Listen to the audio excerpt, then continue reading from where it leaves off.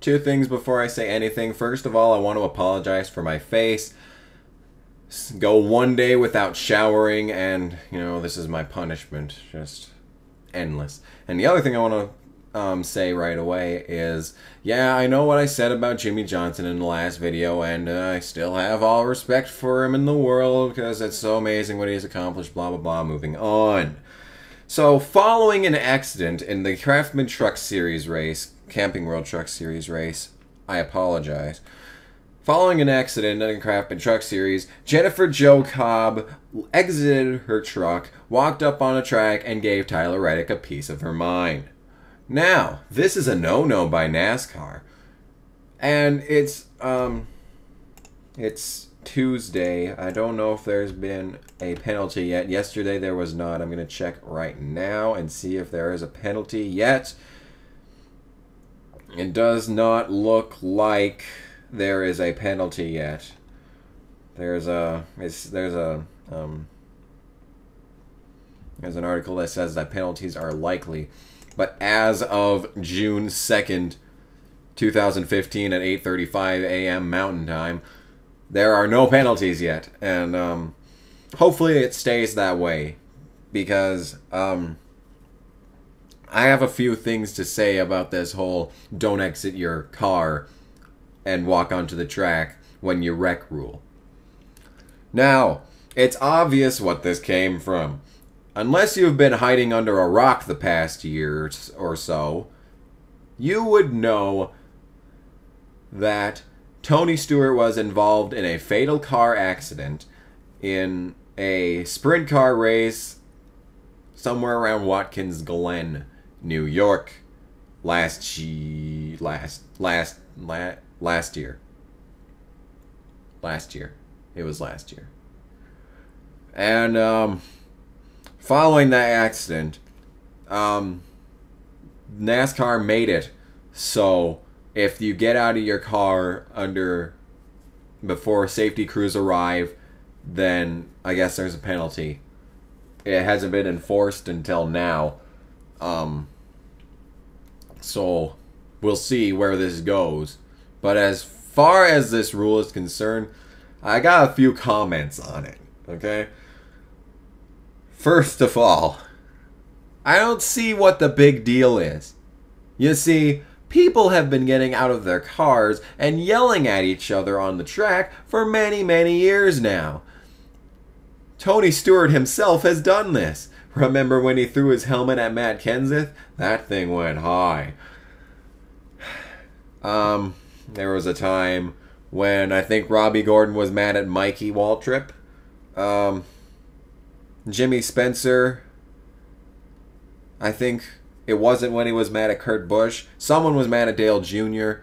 Um, Kurt Busch was applauding Jimmy Spencer for wrecking him. I know that one. Um, yeah, they they've been doing it for years now, and it wasn't until that happened that NASCAR even started considering um, this rule, and um, amazingly, there the, the the the before like a day before the accident with Tony Stewart and Kevin Ward, a day before that, I think it was trucks at the Watkins Glen. It might have been Xfinity, but it was something at Watkins Glen. The day before this race, that a driver got out of his or it might have been the Sprint Cup race. I don't know, but it was it was right around that time at the very same track, Watkins Glen, where a driver got out of his car because he was mad and started shaking his fist, "You dang kids!" at some other drivers and voiced his displeasure. And you know, amazingly, just uh, you, this is the craziest thing. He didn't get hit because you know this is the top level of racing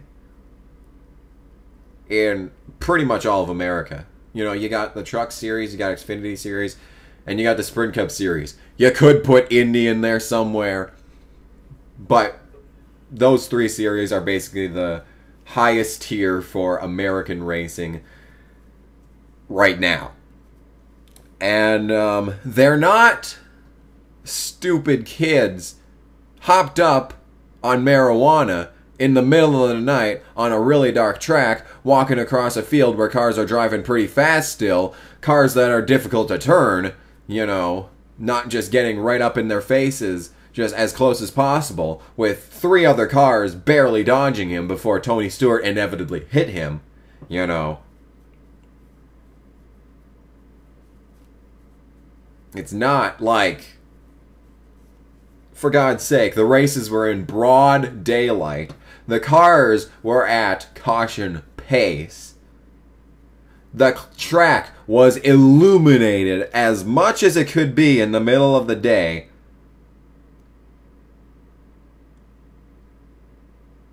When does things happen under caution? I can recall Juan Montoya spinning into the jet dryer. But that happened. He was trying to get around the track and catch up to the back of the field. That wasn't just pacing around at caution speed. He was he was mm, he was booking it trying to get over there when he wrecked. It wasn't like he was just driving at a casual cruising speed. It's broad daylight. They're driving slow.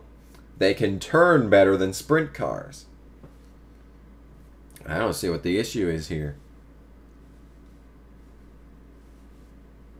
I just think this is NASCAR trying to cover bases for Tony Stewart. Because Tony Stewart's done good for the sport. He's probably one of the better driver images, you know, like one of the best known in the modern era. Like Jeff Gordon, like he probably one of the bigger icons of the 90s. Tony Stewart, one of the bigger icons of the 2000s. Tony's done good for the company. They needed to save face for him. And literally, like yesterday, I was looking at Twitter. There was an article talking about Tony Stewart and the Drivers' Council. And the very first fucking response to that tweet by NASCAR was murderer. And I'm thinking, fuck off already. The track was very dark. You could barely see what the fuck was going on. He's walking down the track towards vehicles that are going pretty fast, that are difficult to turn, in the middle of the night. What did you think was going to happen? Pent up on marijuana.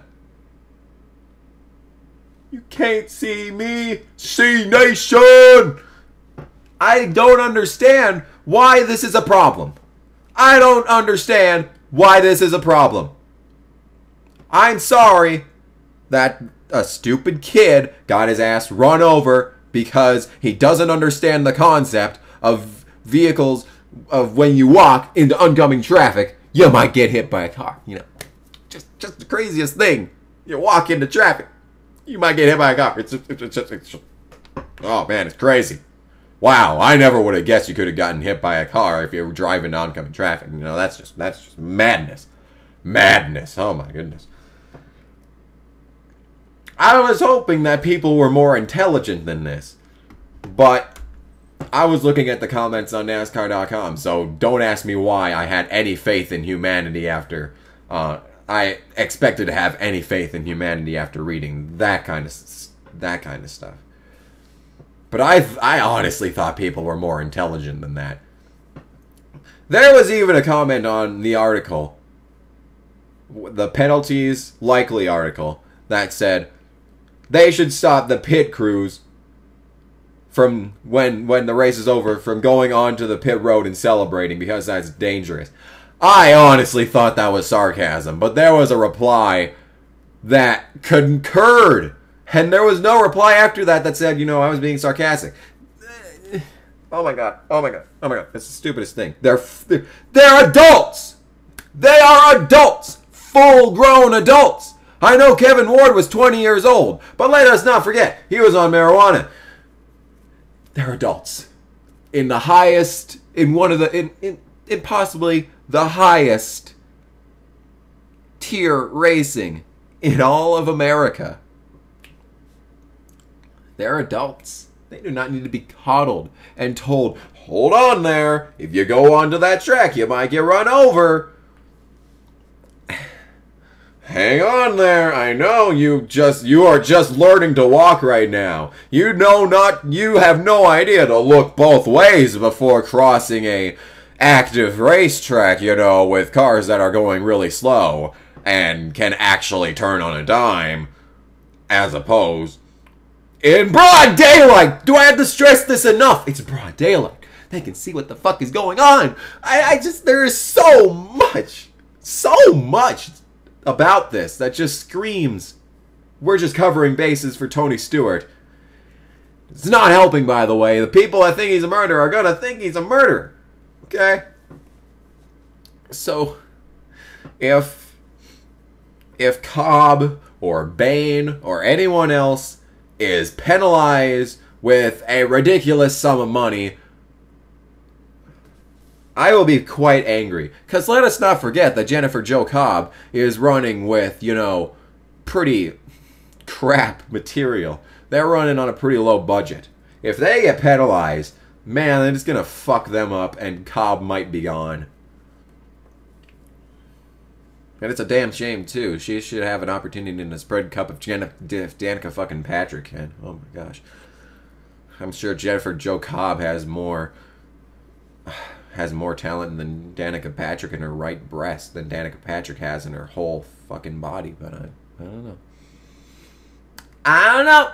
We probably will never know because these penalties are gonna are gonna, you know, send Cobb right out of the series, never to be seen again. So that is just fantastic. Thank you, NASCAR, for creating a rule that is very ridiculous and could only be logically enforced during a night race on like the streets of Japan that are so tightly packed that you know. Oh, it's so stupid. It is so stupid. I apologize for getting angry, but it's just so stupid. I have. Let's hope Truex wins a fucking race.